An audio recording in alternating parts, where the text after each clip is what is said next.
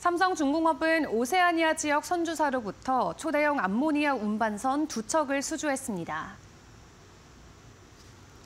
삼성중공업의 이번 수주 계약 규모는 3,150억 원에 달하는 것으로 전해졌습니다. 이들 선박에 대해 2027년 11월까지 순차적으로 선주사에 인도할 예정입니다.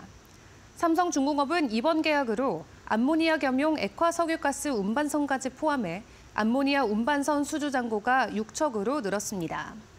이와 관련해 삼성중공업 관계자는 올해에도 LNG, 암모니아 운반선 등 친환경 고부가 가치 선박 중심의 선별 수주를 지속해 나갈 계획이라며 연간 수주 목표는 2월 초 공개할 예정이라고 전했습니다.